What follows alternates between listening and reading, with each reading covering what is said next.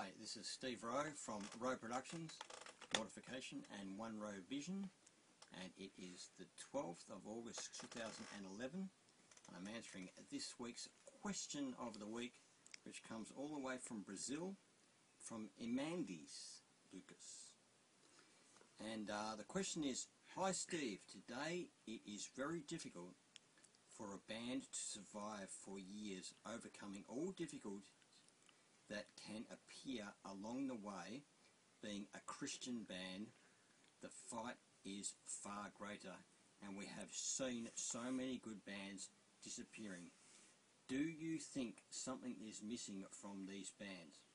Or is it just more that God's sign of the times, Christ's return, approaches?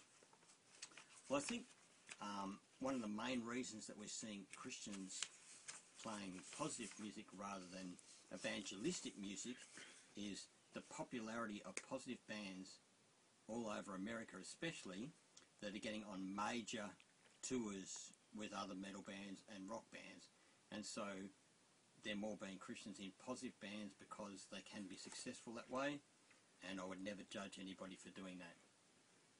Um, back in the 80s the, um, the Christian bands were really only limited to the Christian market. For example, my band Lightforce back in the 80s was only released in Christian bookstores in America and Europe and in Australia and never got into the mainstream market. Now the only bands in the 80s who were evangelistic Christian bands that made it successfully as evangelists into the mainstream market was Stryper, Barren Cross and Guardian because they were released on Enigma Records which is a major secular label. Now in the 90s my band Mortification, of course, got signed to Nuclear Blast.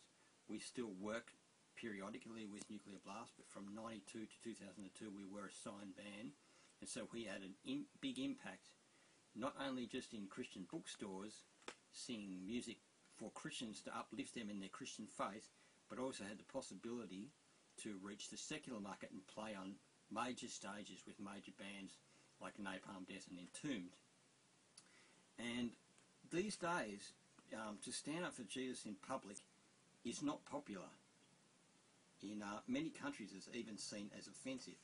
And I think that this is why you're seeing less and less people being in ministry bands because, um, you know, it is, is so much easier um, just to be positive. And yet, isn't it interesting that we have some major secular artists that are now Christians, like last week I mentioned Megadeth, we have guys like Brian Head Welch, who you know left the band Korn because he became radically born again, and now has a major ministry in the Christian and the secular market, and we really need to keep him in prayer. And there are a number, a small number that is, of um, evangelistic bands who are still being very successful in evangelism. We have Jerusalem in Sweden, we have Antidemon in Brazil who are doing a great work of evangelism there. I know Batista and his wife quite well just through the internet. And you've got to realise that these days, ministry bands on ministry orientated record labels, those labels are dying by the week. They're not selling anything, so you need to support the labels that are releasing Christian bands, ministry bands. If you want to see bands like Mortification and Wonrowe Vision survive, and other ministry bands, you need to support us. Now, you can go to roweproductions.com and you can go to the store and buy a Mortification CD. There's also the Wonrowe Vision CD DV double pack at a very, very good price. And um, of course, we have the Infiltration Squad, which is not some exclusive club. It's just I'm wanting people who join the Infiltration Squad and to come onto my Facebook, be people I know that are of like mind with me and um, can come on there and not bring any negativism to that site.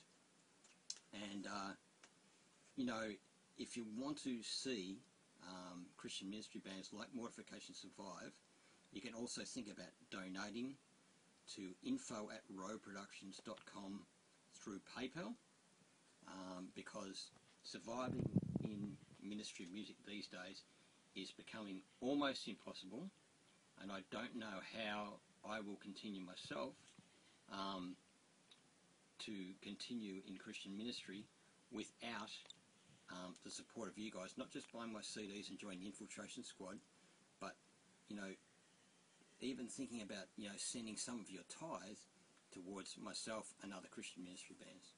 So God bless you all. I hope to still be around. Um, I'll be around next week to answer the question of next week. Um, next week, the question of the week next week, and just if you want to see the Christian bands survive, please keep supporting us because it's only the big mainstream bands that are really surviving these days. And uh, thank you for looking for the question of the week this week, and be back with another one next week. God bless. Bye bye.